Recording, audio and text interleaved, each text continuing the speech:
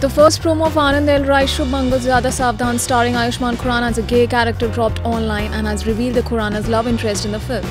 On Thursday, makers took to the Twitter to post a quirky, fun animated video and introduce the characters of the entire cast of the film. And finally disclosed that Jitendra Kumar, famous for acting in several web shows, will be Ayushmann's gay lover. Meanwhile, Shubh Mangal Zyada Saavdhan is the sequel of Ayushmann's 2016 hit film Shubh Mangal Saavdhan. While the first film Shubh Mangal Saavdhan was based on the subject of erectile dysfunction, the sequel will feature a gay love story. The film also stars Gajraj Rao and Neena Gupta in key roles. The film has been written and directed by Hitesh Kewalya and produced by Aanand L Rai, Himanshu Sharma, Bhushan Kumar and Krishan Kumar. It will release on March 13, 2020.